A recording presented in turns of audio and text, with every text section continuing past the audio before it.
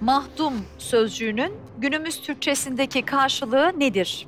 A. Baba B. Oğul C. Anne Ee, karşılaştığımız firma isimleri var hala Evet. böyle. Bilmem ki ve mahdumları. Evet. Çoğul olabilecek de burada sadece B şıkkı oğul var.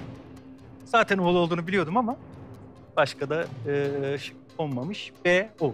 Onaylıyor musunuz? Onaylıyorum. Bakalım.